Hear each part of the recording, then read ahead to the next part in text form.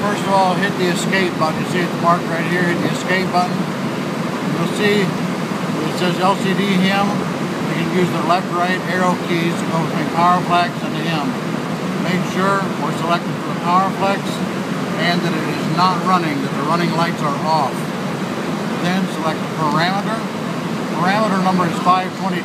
This is defaulted to that. Hit the enter button. Parameter 522 is the minimum forward speed. We can select the edit. Right now it's at 22 hertz. I'm going to put 22 back in it. Now at 22 hertz. It's been saved. Escape. We're back to here. Now use the right left arrows. Go to LCD HIM and hit the middle button. It's 5. That's like an enter button.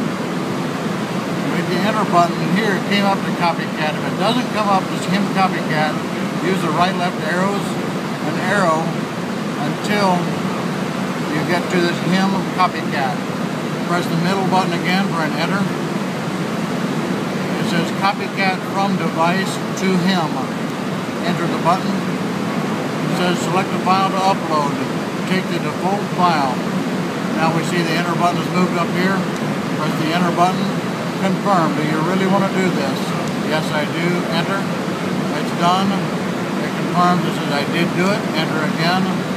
Now I'm back there, escape, and escape, escape again, and we're all done.